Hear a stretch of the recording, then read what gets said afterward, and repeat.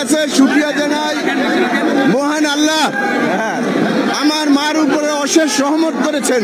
Gazipur city corporation নির্বাচনে Zayeda Khatun mayor নির্বাচিত হওয়ার পর তাৎক্ষণিক প্রতিক্রিয়ায় তার ছেলে জাহাঙ্গীর আলম বলেন, এখানে নৌকার পরাজয় হয়নি, ব্যক্তির পরাজয় হয়েছে। বৃহস্পতিবার দিবাগত রাত পৌনে দুইটায় স্বতন্ত্র প্রার্থী জায়দা খাতুনকে মেয়র পদে বেসরকারিভাবে বিজয়ী ঘোষণা করে রিটার্নিং অফিসার মোহাম্মদ ফরিদুল ইসলাম। জায়দা খাতুন ঘড়ি প্রতীকে ষোলো হাজার একশো সাতানব্বই ভোট বেশি পেয়ে বিজয়ী হয়েছেন। তিনি মোট দুই লক্ষ আটত্রিশ হাজার নয়শো চৌত্রিশ ভোট পেয়েছেন। তার নিকটতম প্রতিদ্বন্দ্বী আওয়ামী লীগের মনোনীত নৌকার প্রার্থী আজমতুল্লাহ খান পেয়েছেন দুই লক্ষ বাইশ হাজার সাতশো সাতত্রিশ ভোট। বৃহস্পতিবার গভীর রাতে নির্বাচনের ফল ঘোষণার পর জাহাঙ্গীর আলম বলেন আমি জন্মের পর থেকে আওয়ামী লীগ করে আমি এখানকার আওয়ামী লীগের পরীক্ষিত ব্যক্তি।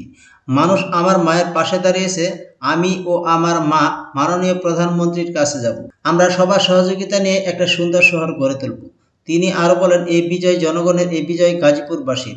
এই বিজয়ের জন্য নগরবাসীকে আমার মায়ের পক্ষ থেকে কৃতজ্ঞতা ও ধন্যবাদ জানাই। আওয়ামী লীগের মনোনীত মেয়র প্রার্থী আজমতুল্লাহ খানকে নিয়েও কথা বলেন এ সময় জাহাঙ্গীর আলম।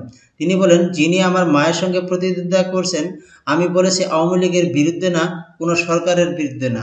আমি ব্যক্তির বিরুদ্ধে নির্বাচন করছি, তারপরও ওনার কাছে যাব, সহযোগিতা চাইব। এ সময় অবাধ, সুষ্ঠু ও নিরপেক্ষ নির্বাচন উপহার দেওয়ায় প্রধানমন্ত্রী শেখ হাসিনাকে ধন্যবাদ জানান পাশাপাশি নির্বাচন কমিশন এবং প্রশাসন সহ সংশ্লিষ্ট সবাইকে আন্তরিক কৃতজ্ঞতা ও ধন্যবাদ জানান সাবেক মেয়র জাহাঙ্গীর আলম।